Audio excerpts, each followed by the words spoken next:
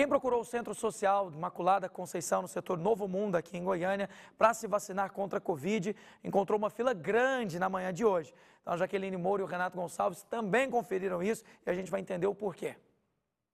Há quase um mês, o Centro Social Imaculada Conceição se tornou ponto de vacinação contra a Covid-19. Hoje, a fila para receber primeira e segunda dose deu volta no quarteirão. O motivo teria sido um problema no local onde as vacinas ficam armazenadas. Quem chegou cedo precisou esperar quase duas horas para ser imunizado. Oito horas não tinha vacina, o carro tinha quebrado. Ixi, eram umas oito horas. Até agora. Muita gente. Tá demorando? Muito, muito, muito mesmo. A aplicação da segunda dose é por demanda espontânea. Para diminuir o fluxo, as pessoas foram colocadas nestas cadeiras e são atendidas através de senhas.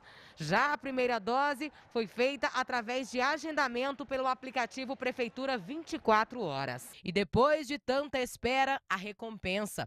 Marlene recebeu a segunda dose da vacina e comemorou. Graças a Deus, é uma sensação já livre, né? Estou imunizada. Goiânia conta com 30 postos de vacinação contra a Covid-19 espalhados pela cidade, além dos drives, que não têm necessidade de agendamento.